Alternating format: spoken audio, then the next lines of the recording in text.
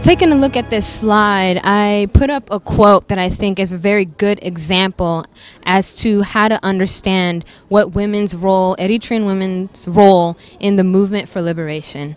And it's remember the women who have been martyred fighting. Remember the women who gave birth while fleeing from their homes, and those women who have been born and have grown up fighting for the liberation of our country. We are the EPLF as much as anyone. We fight for our rights as women, but the world outside our bodies, outside our identity as women, belong to us too. And so this is Ma'aza, who is a cadre of a women's mass organization in Eritrea, the National Union of Eritrean Women. And I think it's extremely telling what she's saying, which is not only is it there's more to a woman than just her gender and gender roles. And the Eritrean Revolution really is indicative of that. Stage is historical context. So understanding our struggle really starts from U.S. support and Soviet support of the Ethiopian uh, regime of the time. In the interest of the superpowers, because Eritrea is located in the Horn of Africa, its geopolitical interest, they forcefully federated Eritrea with Ethiopia. This most of us do know. They federated it and supported it with both political acumen and military aid.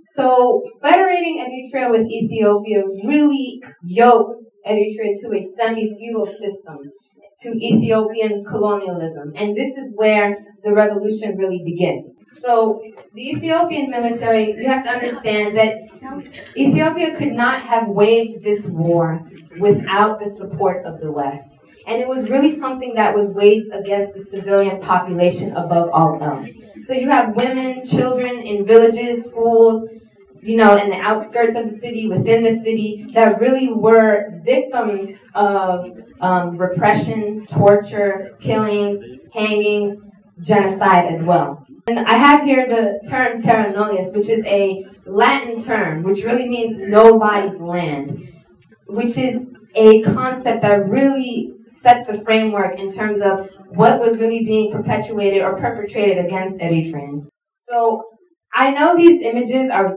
pretty vivid, and I chose these images because I think they are a very important example as to a lot of the suffering that many of us endured. And without these images, it's very difficult for us to comprehend what some of these challenges were at the time.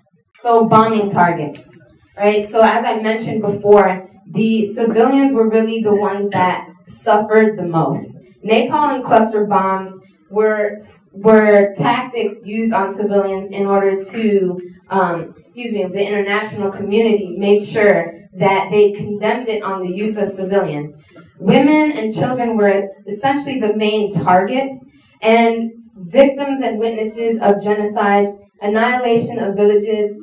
There are countless. Some of them that I will name are on Hajar, Ona, um, you know, even within Asmara, they were not immune to some of these traumatic experiences. Even in the 1970s, uh, Asmara went through a series, uh, a three-day mayhem of sustaining killings throughout that city. All mostly amongst women, children, and of course our male brothers went through it too. But today is really a focus about what were the struggles that women were facing? What were the struggles that they were really um, experiencing?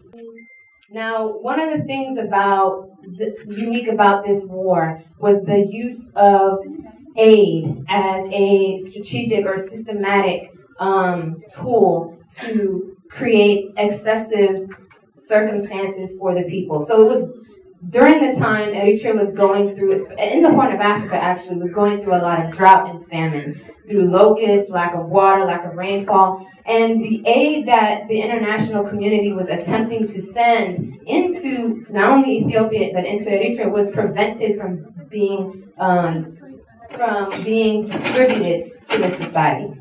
So it is during this, like I mentioned before, um, that women took an active role and utilized their agency to start participating in many aspects, many sectors of the Eritrean Revolution. Has anybody ever taken a bio class or a science class? Yeah. So you've heard of Charles Darwin. That's somebody who consistently comes up. And Charles Darwin, he talks about survival of the fittest. This idea that the um, that a lot of people misconceive, which is that the strongest are usually the ones that survive. And it's not really about brute physical strength.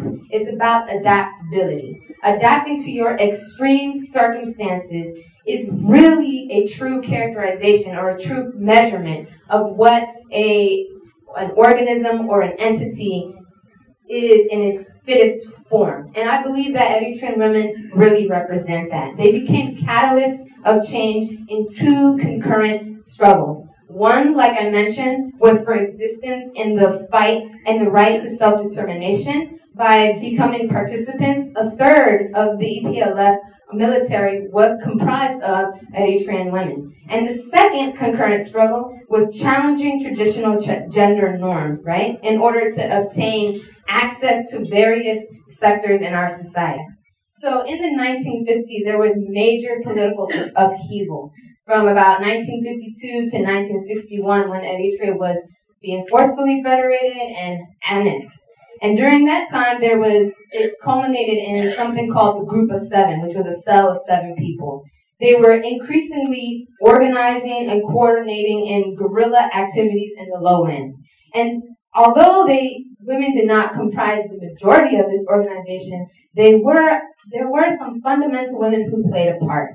And some, one of them is Gede Fasaha, who was a child of somebody named um, nicknamed Gandhi, and she acted as a political deputy to Walda Ab Walda Mariam. As many of us may know, Walda Ab Walda Mariam is a um, major political figure at the time, and she was definitely utilizing her political savvy to assist him in campaigning on behalf of Eritrea for it to be able to be an independent nation and for the rights of the people as um, determining their own um, future could be solidified. And part of the reason why I like the pictures, especially on the right, is just kind of like a, a dichotomy between tra- very traditional, customary looking women and then their, um, their counterparts are on the top, the daughters that have to adapt to their new circumstances. So still being able to maintain the connection to some positive aspects of tradition and custom while also transforming and being innovative about what their roles are going to be in their own society and in their own movement. So navigating new dynamics. So change is always difficult. Usually they say the path of least resistance is usually the one that we like to take as human beings. So whenever there is change, there's challenges that come about that. And adversity is meant to strengthen your faith, strengthen your capacity. And by navigating new dynamics, you can see that a lot of them were thriving and taking active roles in various as- aspects of the movement. So you have building trenches during the um, trench warfare uh, tactics that were Eritrean freedom fighters were using.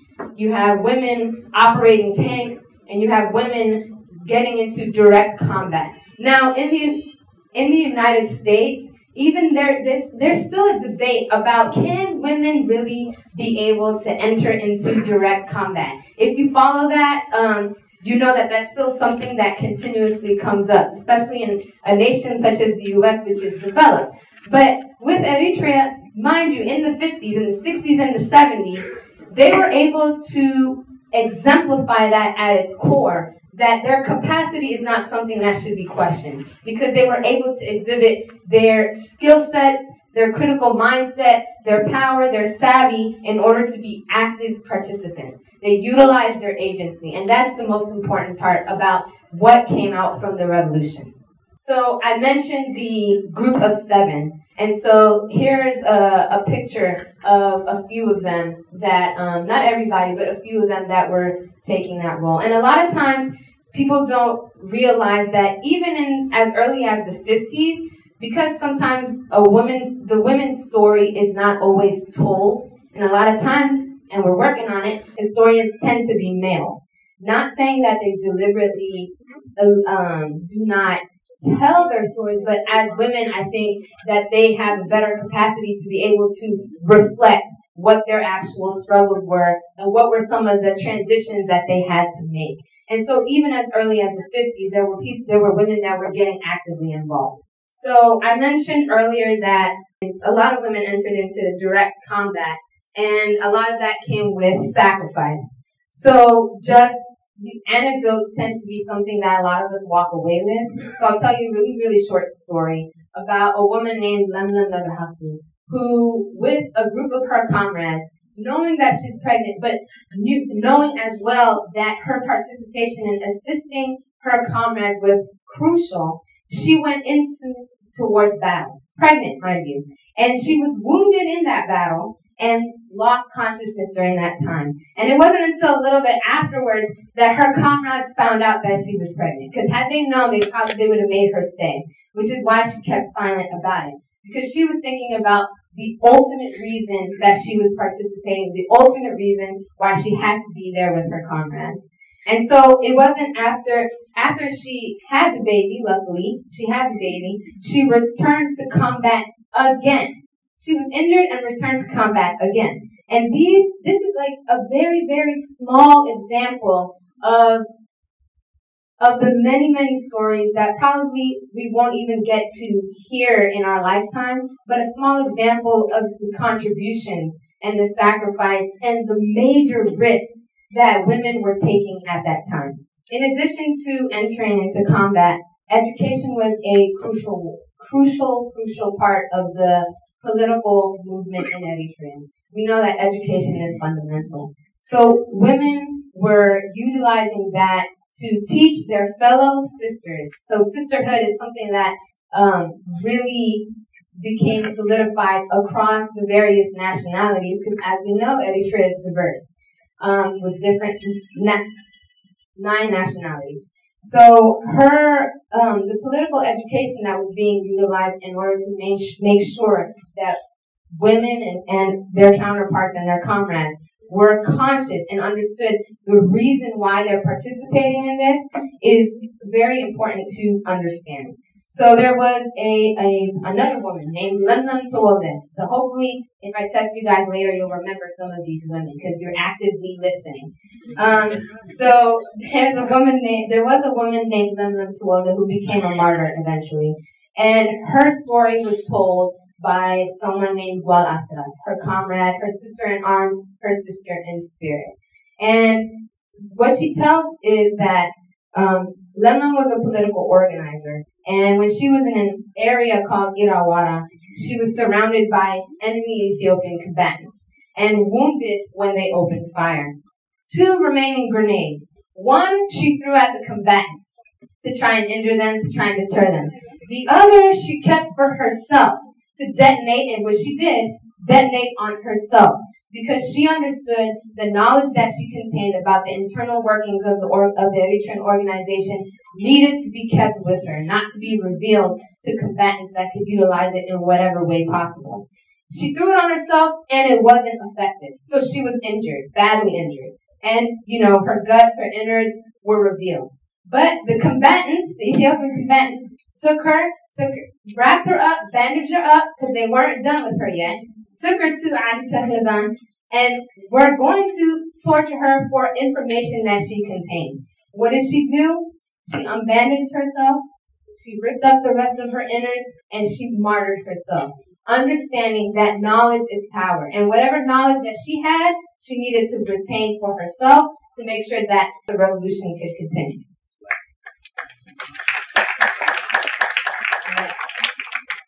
So other sectors of participation. So obtaining not only vocational skills, but very technical skills is extremely important. And so I have a few pictures up here.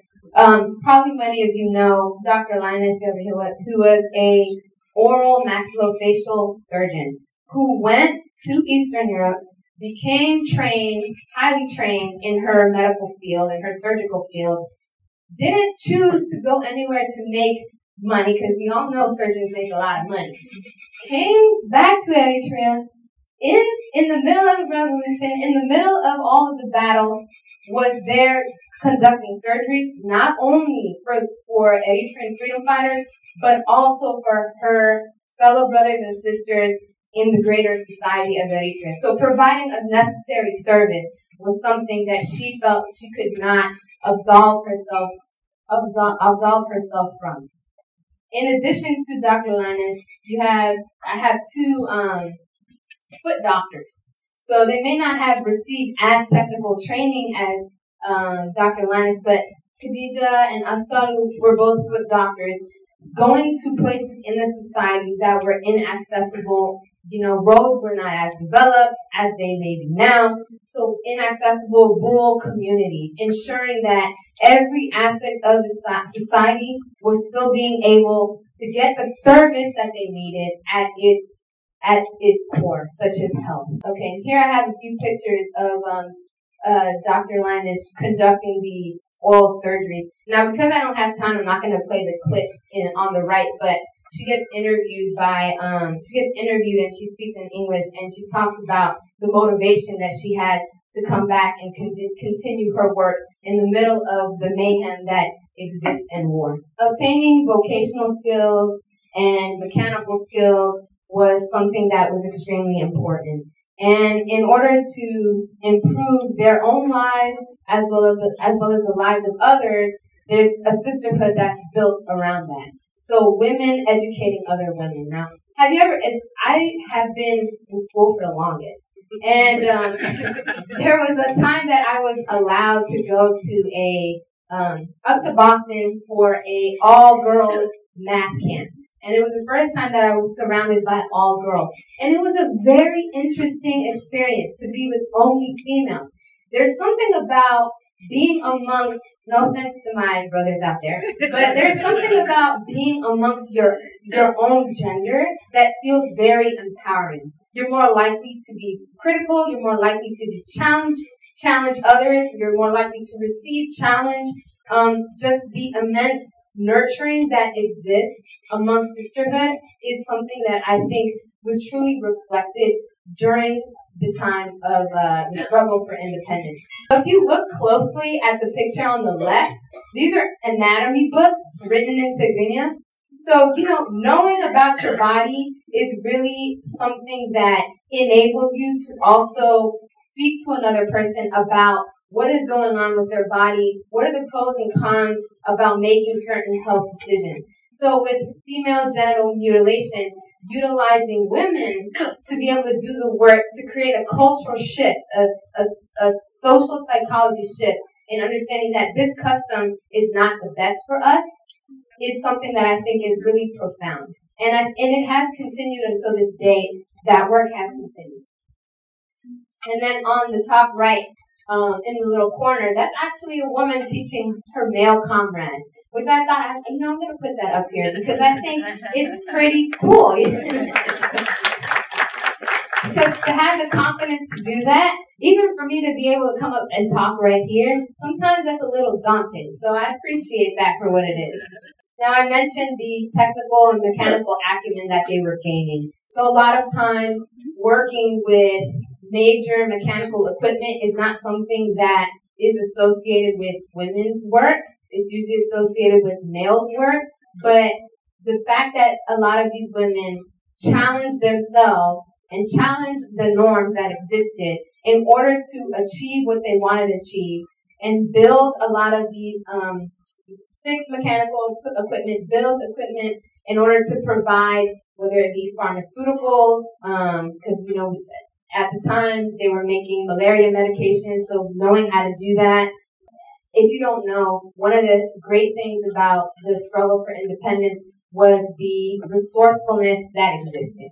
You don't have money to continuously buy and export equipment. So what you have is what you get. So the limitations and resources did not stop a lot of these women. So they were able to be resourceful and fix whatever they needed to fix and send it back out there to con- continue doing what it needed to.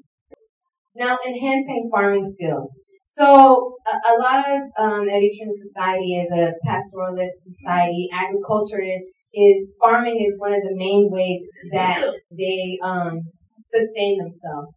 And so, in a way, it's, a, it's still a traditional a traditional traditional work, but enhancing it by learning more about animal sciences to help the cattle within the um, within the various communities, or knowing how to deter locusts, which was a big thing that was destroying crops at the time, and working with their male brothers is a big deal because a lot of times women weren't looked at as, at the time as doing field work. They may have done it, but they may not have gotten credit for it either. So being able to see these images is really inspiring. Now, a lot of times um, in current conversations, there is the idea that a woman can only have children and that is her purpose is something that some it is meant to limit their um, capacity. But even within motherhood, there is I find there's a lot of power and inspiration within it. And so during the struggle for liberation, motherhood was still very important and it took a form. It took new forms. So on the left, you have freedom fighters, female freedom fighters that still had children. And so you know, still appreciating what bringing a new generation is about. Imprinting a new mindset upon them because they know that they are the future, they are the promise, was still significant during that time. And furthermore, the other new forms of motherhood, we know that Eritrea was going through a lot of genocide, massacre, bombings, so on and so forth, as I have mentioned. So it produced a lot of orphans during that time. And Eritrean freedom fighters who were martyred at the time and had children, also those were orphans. But women became surrogates to other to other women's children, and I think that's a beautiful thing. So here you have some of the uh, children orphans in a refugee camp, and they try to make a merry-go-round in a uh, bunker-style um, complex because you know having to shade themselves from that. So they made a merry-go-round for them to try and make sure that they still maintain their childhood. And then on the top right, you have um, still the the education that I mentioned, the political education that they were making sure to expose a lot of the society. They made sure to to expose the children to that too, the ones that they were surrogate that they were surrogates for. And then on the top, on the bottom right, which I think is, I love that, is the shaving of the heads of a lot of kids. so giving them um, haircuts, you know, becoming makeshift barbers for uh, health purposes, and then mobilizing civil society. Even um, the battle was also fought on the war fronts, but also civil society is another aspect that needed to be in that women needed to get engaged in. And so you have oh, the middle picture is not there. Um, but it was women who were galvanized around workers' rights. And even today, we talk about workers' rights here and across the globe. So that was something that they were really galvanized around. And then on the right, you have the women taking a role in the voting process when the referendum came about. And then I really like this one because this is just oh, uh, women in the mass, the National Union of Eritrean Women at the time, and she's speaking up in front of everybody and really engaging and vocalizing herself about her perspective. When referendum came about, which was um, a really great thing, it was really to legitimize Eritrea's independence for the international community. But to me, I think that we really legitimized our accomplishment on the battlefield. At the bottom of the of the picture, it says a popular vote that gave birth to a nation. But I don't think it's the popular vote that truly did that. Supreme love is really what did that. Love to me is sacrificing your own well-being for the sake of another person's well-being. You may know them and you may not know them as well. But sacrificing yourself for the betterment of others is something that is a gift that has no comparison. And to me, that is what truly solidified um, our independence. And women took a huge role in that. And the only thing that I have left to say is actually a quote by E.H. Carr, who was a historian in the 60s. And he said, this, the historian without his facts is rootless and futile. The facts without their historian are dead and meaningless. So to paraphrase, right? I could be a historian, but if I have if I do not have the accurate information, then there's no reason why I should be doing that job, right? You need that factual information. But more importantly, factual information requires a storyteller. And as a person that came from that legacy of Eritrean womanhood and accomplishments, I understand that it is my responsibility and I have to be accountable in ensuring that their story becomes transmitted and the memories of their accomplishments and challenges continues to be something that propels me and other Eritrean women, like my counterparts here, forward. Thank you.